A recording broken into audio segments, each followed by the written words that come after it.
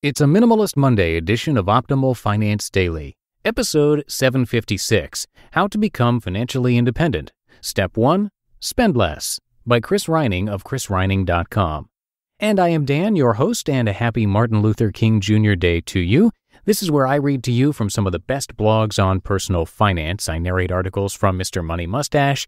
I will teach you to be rich, get rich slowly, budgets are sexy, and many more, sort of like a gigantic ongoing audiobook that is free of charge to you. And before we get to our post for today, you know what's not smart? Job boards that overwhelm you with tons of the wrong resumes. Luckily, there's a smarter way to hire at ZipRecruiter. ZipRecruiter's powerful matching technology finds the right people for you and actively invites them to apply. It's no wonder that ZipRecruiter is rated number one by employers in the US, and this rating comes from hiring sites on Trustpilot with over a thousand reviews. Right now, my listeners can try ZipRecruiter for free at ziprecruiter.com/ofd. If you love this show, show your support to it and ZipRecruiter by going to ziprecruiter.com/ofd. For now, let's get right to our post and start optimizing your life. How to Become Financially Independent. Step 1 Spend Less by Chris Reining of chrisreining.com. For some of us, spending less, saving more, and investing is as effortless as breathing. Personally, I've always been closer to the side of the pole where these things are ingrained into my being. I can easily trace it back to my penny pinching parents who modeled this behavior for me, much to my disdain when I didn't get the fashionable clothes or cool shoes growing up. In the long run, I'm glad I had financial discipline instilled from a young age. However, I'm by no means financially perfect. My own financial backyard sometimes isn't in tip top shape. I'm sure some of us can relate to this. Starting back in 2010, I've made the effort to tune and improve my finances, realizing in the process that change, any change, doesn't happen overnight. What's important is identifying what improvements we want to make, tracking them, and making slow and steady progress along with regular and honest assessments, and giving ourselves credit when credit is due. Since 2010, I found that I've become even more financially savvy, and I'm on the road to reaching my financial goal financial independence by age 42. For some of us, we may wonder why we are swimming in debt, or maybe we feel like there's never enough money and we'll wind up working all the way to our deathbed. That can be a depressing and hopeless feeling. Perusing our financial backyards, we might find credit card debt, credit lines, student loans, car loans, or financed appliances, TVs, and furniture. If you find yourself in that situation, I can understand. The good news is that improving our financial backyards isn't insurmountable. Like one of my friends used to say in a 12 step program, you can't eat an elephant in one bite. What we need to do is break down our financial problems, whatever they are, into easier and manageable chunks it might start with thinking about improving our finances by spending less and saving more. How to spend less. Before we delve into a few ways that we can design our lives to spend less, I want to point out that recent studies show the salary tipping point for day to day happiness is somewhere between $50,000 and $75,000. This means any more money hitting our wallets above and beyond that will not make us any happier.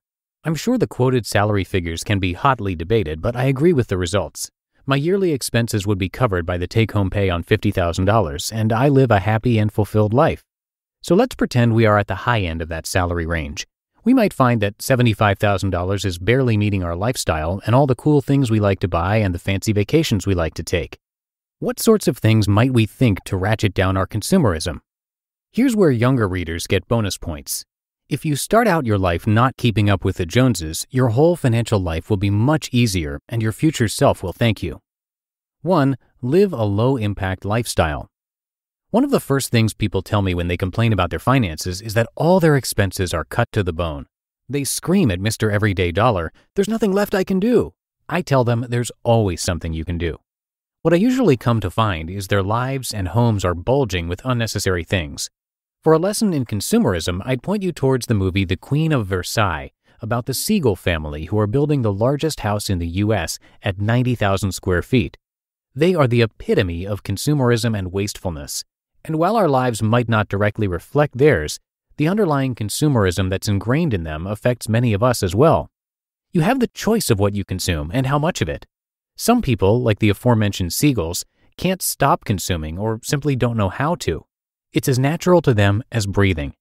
If you make the choice to never start, you've won the battle.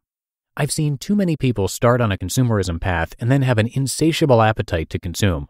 I've been there and back. It's all the more easy to fall into this trap when we have experts marketing products to us, or we fall prey to paying for convenience, or we envy our friends and family that have shiny new things that we lust after. Where to start? It might start with what sort of home you live in and where it's located. Perhaps you live in a home built in 2007 when they averaged 2,521 square feet. Choosing a house that size will cost more to buy, cost more to heat and cool, cost more in property taxes, and cost more in maintenance and repair than a house closer to 1,250 square feet. You'll want to think about transportation as well. Is your home on public transportation routes, making work and errands convenient? Or maybe you can live in a dense urban environment where goods, services, and jobs are plenty and nearby. By having a small home and living close to what you need, you aren't spending extra money on a big house in a suburban wasteland that you waste two hours of your life commuting to five days a week. And if we choose to live in a smaller and more efficient home, the other benefit is that we won't have places to store clutter, indirectly enforcing less consumerism. 2. Subscribe to minimal services, buy only things you need, and make sure they're high quality. I used to buy things I didn't need the morning Starbucks, fancy meals out, satellite TV, gym memberships. Then I learned to either go without them or do them myself. So I make coffee at home, do workouts in my living room, and have Friday night homemade pizza and wine night.